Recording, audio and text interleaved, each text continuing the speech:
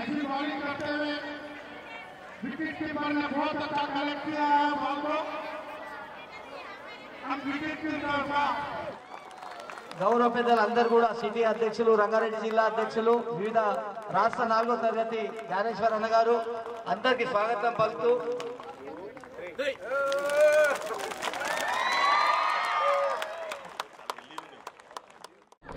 आज Hyderabad district T की तरफ़ से स्पोर्ट्स फतेह मैदान स्टेडियम में ऑलरेडी सेमीफाइनल हो चुका फाइनल यहाँ पर मैच हो रहा है।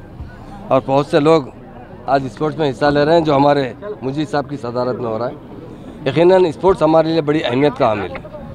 क्योंकि जो लोग स्पोर्ट्स में हिस्सा लेते हैं, वो हमेशा हेल्दी रहते हैं। तेलंगाना हुकूमत भी यही चाहती है कि हमारे जो एम्प्लॉइज़ भाई है, हमारी बहनें वो स्पोर्ट्स में हिस्सा लें।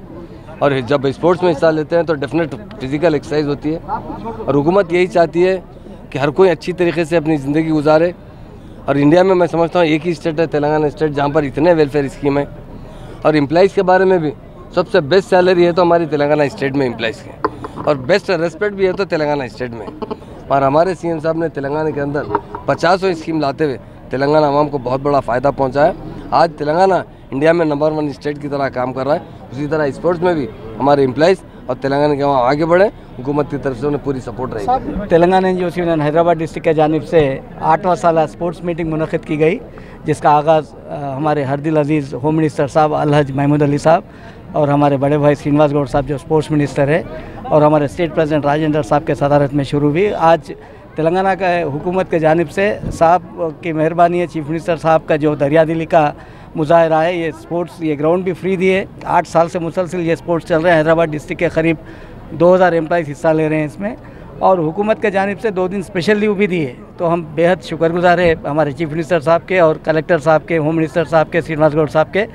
बहरहाल जो स्कीम्स है तेलंगाना के हुकूमत के, वो पूरे स्कीम्स में बाजाफ्ता बेजाफ्ता काम करेंगे और अच्छा नाम लाने की कोशिश करेंगे और सरकारी मुलाजिम कॉन्ट्रैक्ट आउटसोर्सिंग के एम्प्लॉयज़ के हकूक़ के लिए मुसलसल तेलंगाना एन हैदराबाद डिस्ट्रिक्ट आप लोगों की मदद से पूरे मसाइल को भी हल कर लेंगे। थैंक यू वेरी मच जय तेलंगाना आठ साल में हमारा भाई का मुझे तीन जो हैदराबाद प्रेसिडेंट का सदरत में आठ साल से गेम्स चला रहे और एम्प्लॉयज़ बोले तो खाली काम करने के लिए नहीं। एम्प्लॉयज़ भी हेल्दी रहना। हेल्दी रहना बोलते कुछ स्पोर्ट्स इवेंट में इंटरेस्ट रहना। इंटरेस्ट रहना बोलते तो स्पोर्ट्स का कंपटीशन रखे तो ऑटोमेटिकली उन्हें डेली भी ध्यान रखता बोलते उन्होंने आठ साल से कर रहे बहुत खुशी की बात है। हमारा गवर्नमेंट भी कर रहे हमारा टी भी, उन लोगों भी कर रहे हर एक आदमी भी हेल्थ फिट रहना बोलते हो, उसके लिए डेली हर एक आदमी की एक वॉकिंग आता। है वॉकिंग भी स्पोर्ट्स है रनिंग भी स्पोर्ट्स है क्रिकेट ऐसा किसका किसका कौन सा इंटरेस्ट में, वो इंटरेस्ट में हम लोग एम्प्लॉयज़ भी हेल्दी रन बोल के कर रहे हमारे गवर्नमेंट आने के बाद के साहब, कुछ ना ग्राउंड से थे इससे पहले आंध्रा में, आंध्रा गवर्नमेंट उस टाइम में स्पोर्ट्स स्टेडियम वाला बोलते भाई, पैसा भरो बोल के बोलते थे। नहीं, आपको नहीं देते बोल के बोलते थे। आज स्पोर्ट्स का स्टेडियम फ्री है, और ऑडिटोरियम फ्री है। एम्प्लॉयज़ का कुछ भी है तो भी हमारा गवर्नमेंट से पूरा सपोर्ट है।